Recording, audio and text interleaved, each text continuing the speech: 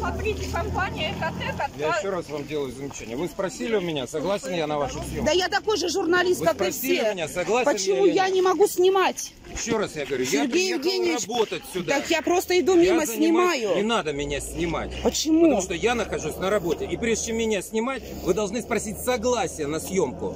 А вы мне мешаете работать. Вы у меня никакого разрешения на съемку Я журналист, у меня есть регистрация. Роскомнадзора, я имею полное право снимать любые мероприятия. Журналистов мы пока не приглашали. Вот ходят журналисты, вот Это моя снимают. служба входит в СМИ и снимает. Для того, чтобы был фотоотчет. Я считаю на сегодня. Этого вполне достаточно. Мне Вы сегодня- мне запрещаете снимать? Мне сегодня Вы мне запрещаете снимать? Так, мы или заниматься будем, или будем заниматься вами. Почему вы мне запрещаете снимать? сейчас на совещание. Идите. Будем заниматься без вашего участия. Так ради бога.